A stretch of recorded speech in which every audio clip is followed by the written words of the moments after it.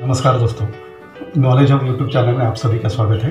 चलिए शुरू करते हैं हमारा आज का नया टॉपिक ब्रिक्स का तुलनात्मक अध्याय, जो मेन कॉमनली उपयोग में आने वाली ईट्स है। एक लाल ईट, मिट्टी की ईट, और दूसरी फ्लैश ईट फ्लैश ब्रिक बोलते हैं। इन दोनों का मतलब उनके गुणों के अनुसार प्रॉपर्टीज़ के अनुसार हम लोग कंपैरिजन करेंगे। लाल या क्ले ब्रिक्स क्या है? लाल या क्ले ब्रिक्स मेनली क्या है? वो एक मिट्टी की बनाई जाती है। यानी जली हुई मिट्टी जो रहती है क्लासिक रूप में, उसको साँचों में दबा कर बनाया जाता है। फिर वो साँचों में ईट भट्टी जो रहती है हम लोग, उस भट्टों में उसको सुखाया जाता है और फिर जलाया जाता भी है। और ये एक बहुत पुरानी निर्माण सामग्री है। दुनिया में बहुत कई प्राचीन संरचना में बहुत सारे प्रोजेक्ट्स में ये उपयोग में आने वाली ईट है। ये अपना इंडियन स्टैंडर्ड दस सौ सतहत्तर, उन्नीस सौ बानवे उसके हिसाब से है। अभी इसमें हम लोग एक, ये जो ईट का भट्टों का ये देख सकते हैं। इसमें भी आप देख सकते हैं। ये जो मिट्टी है, ये पूरी तरह से मानव निर्मित है। मेनली भवन निर्माण सिविल इंजीनियरिंग कार्य और ये जो लैंडस्केप डिज़ाइन वगैरह है, वहाँ उपयोग की जाती है। इन ईटों को मेनली उच्च तापमान में जलाकर मिट्टी से बनाया जाता है और गर्मी मिट्टी कणों को ठोस करने के लिए जमींदार होते हैं, जो ईटों को अत्यंत मज़बूत सिरेमिक बॉन्ड बना देता है। यह फ्लैश ब्रिक अभी फ्लैश ब्रिक एक निर्माण सामग्री है, उसमें विशेष रूप से मेनली चिनाई वाली इकाइयाँ जिसमें क्लास या फ्लाई फ्लाई फ्लाई ऐश और पानी होता है। ये 28 एम में संपीड़ित और छियासठ डिग्री सेल्सियस में बाप स्नान में 24 घंटे के लिए ठीक हो जाता है और फिर एक एयर एंटरटेन एजेंट के साथ सख्त हो जाता है। ये ईट हंड्रेड फ्रीजिंग थ्रा साइकिल्स के लिए ज़्यादा लास्ट रहता है। ये एज पर आई एस तेरह हज़ार सात सौ सत्तावन, उन्नीस सौ तिरानवे के हिसाब से है। अभी भारत के बहत्तर टके बिजली संयंत्र, जो मेनली कोयला के ऊपर आधारित है तो ये पावर स्टेशन से ज़्यादा लगभग 40 मिलियन टन फ्लैश का उत्पन्न होता है, जो फ्लैश मतलब थर्मल पावर प्लांट से निकलने वाला कार्बन डाइऑक्साइड होता है। मेनली ईंधन के रूप में इस कोयले का उपयोग करने का ज़्यादा उपयोग किया जाता है। और मेनली ये जो उपयोग रहते हैं, इसमें जो राख, अवंचित राख और धुआँ उत्सर्जित करते हैं, जिससे फ्लाई ऐश का उत्पादन होता है। मेनली सभी बिजली संयंत्रों और उद्योगों में एक साइक्लोन कन्वर्टर का यूज़ करके ये फ्लाई ऐश को अलग करते हैं। और इस फ्लाई ऐश को सब ईटों के निर्माण के लिए कच्चे माल के इस्तेमाल में उपयोग किया जाता है। जैसे कि हम जानते हैं कि दो लोकप्रिय ईट, ये जो क्लेबर की या फिर ईट की मिट्टी की ईट है और फ्लाइश ईट है।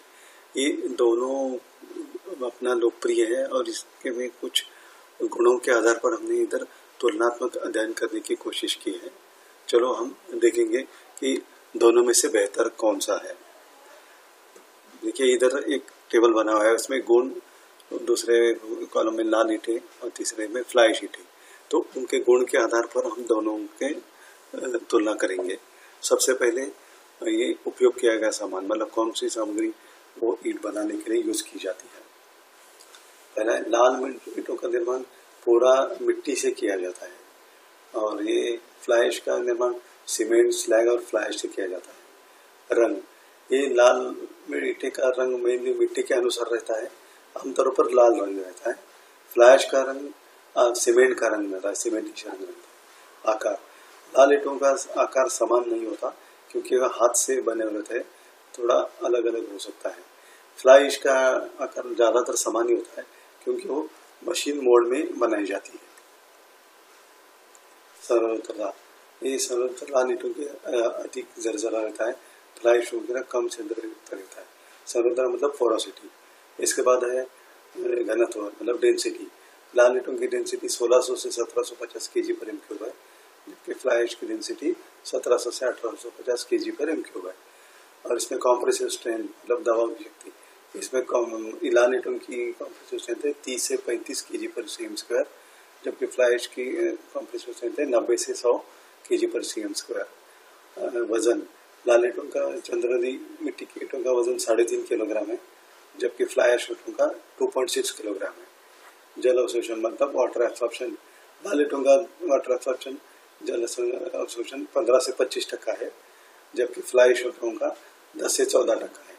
आयाम स्थिरता मतलब डायमेंशन स्टेबिलिटी लाल ईटों का डायमेंशन स्टेबिलिटी या आयाम स्थिरता वेरी लो है मतलब थोड़ा साइज़ उसका अलग अलग हो सकता है, जबकि फ्लाई ईटों का आयाम स्थिरता या फिर डायमेंशन स्टेबिलिटी हाई है। इसमें साइज़ ज़्यादातर समान होने का चांसेस है। और इसमें ट्रांसपोर्टेशन के दौरान इसका वेस्टेज कितना दस टका हो सकता है लाल ईटों का जबकि फ्लाइश का ट्रांजिट या ट्रांसपोर्टेशन के दौरान दो टक्का से कम होता है। ये पर्यावरण। ये लाल ईट और मिट्टी की ईटें पर्यावरण के अनुकूल नहीं है, जबकि फ्लाई ईटें पर्यावरण के अनुकूल है। और प्लास्टरिंग या लीप जो हम लगाते हैं, दीवार के दोनों तरफ़ उसका थिकनेस अलग मोटाई अलग अलग होती है, जबकि फ्लाई शीटों में दीवार के दोनों तरफ़ सेम ही रकम इसका कॉस्ट जनरली लाल ईटों का पाँच रुपये से आठ रुपये तक आता है, जबकि फ्लाई शीटों का चार रुपये से छः रुपये तक आता है। अभी तुलना से कोई भी स्पष्ट रूप से बता सकता है कि निर्माण के लिए फ्लाई ईटों की ईटों में मिट्टी की ईटों की तुलना से अधिक फ़ायदे हैं। अभी हम फ्लैश ईटों के कुछ फ़ायदे हैं जो मिट्टी की ईटों की तुलना में उसको देखेंगे। सबसे पहले की ईटें कम खर्चीली और वज़न में हल्की होती है।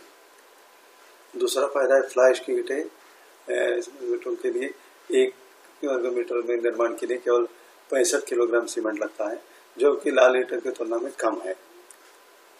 फ्लाई शीटों का उपयोग के लिए हम सीमेंट की खपत को 50 टक्का तक कम कर सकते हैं, क्योंकि इन ईटों में दीवारों को दोनों तरफ़ से प्लास्टर की आवश्यकता नहीं होती। मिट्टी की ईटों की तुलना में हाई, ज़्यादा स्ट्रेंथ होता है और कम एब्सॉर्प्शन होता है और हल्के वज़न वाले होते हैं। ये मेनली जहाँ हाई लोड मतलब उच्च भार वाली इमारतें हैं, वहाँ मिट्टी की ईटों की वजह से भार बढ़ता है। तो ये फ्लाई शीटें हम निर्माण करने के बाद, वो बिल्डिंग जो इमारत है, उसका वज़न, दबाव या तनाव कम करने के लिए हम कोशिश कर सकते हैं। मतलब भार कम करने के लिए हम मदद मदद मिल सकती है।